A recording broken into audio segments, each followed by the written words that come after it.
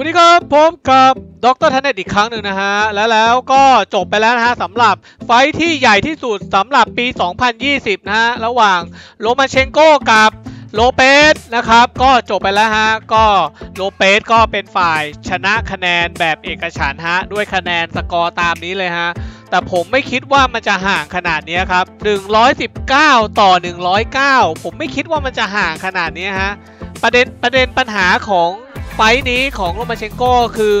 เขาออกหมัดช่วง 6 ยกแรกเนี่ยช้ามากนะเต้นซะเยอะนะครับ แต่ว่าไอ้6ยกหลังเนี่ยเขาออกมาชกได้ดีนะครับ ยกเว้นยกสุดท้ายนะฮะยกที่ 12 เนี่ยนะครับเป็นของโลเปสนะผมคิดว่า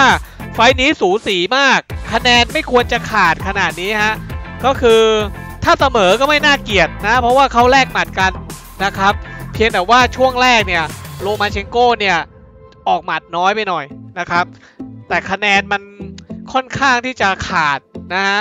อ่าคุณมีความคิดเห็นยังไงฮะช่วยคอมเมนต์บอกหน่อยฮะสำหรับไฟนี้นะครับสำหรับไฟหยุดโลกไฟนี้นะตอนนี้คือทุกคนคุยกันเรื่องของการพ่ายแพ้ของโลมาเชนโกกันทั่วโลกเลยครับ และคุณคิดยังไงครับช่วยบอกหน่อย